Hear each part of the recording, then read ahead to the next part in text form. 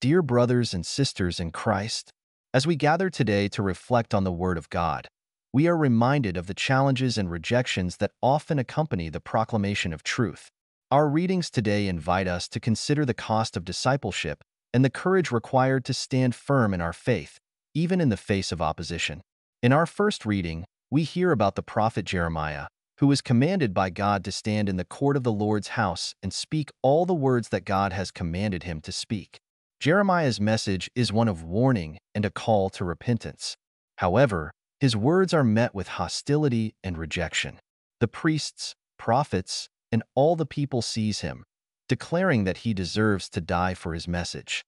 Jeremiah's experience is a powerful reminder that speaking the truth and calling people to repentance is not always welcomed. It often requires great courage and a deep trust in God's protection and guidance. Jeremiah's unwavering commitment to his prophetic mission, despite the threats against his life, serves as an example for us to remain steadfast in our faith and in our calling to be witnesses of God's truth. The responsorial psalm today echoes the sentiments of a soul in distress, seeking God's deliverance and protection. Save me, O God, for the waters have come up to my neck. The psalmist expresses a deep sense of abandonment and persecution, yet remains hopeful in God's saving power. This psalm resonates with the experiences of Jeremiah and all who face opposition for their faith. It reminds us that in times of trial and rejection, we can turn to God for strength and deliverance. In the Gospel, we see Jesus returning to his hometown of Nazareth, where he teaches in the synagogue. Despite his wisdom and mighty works, the people of Nazareth take offense at him. They question his authority and dismiss him because they know his family and background.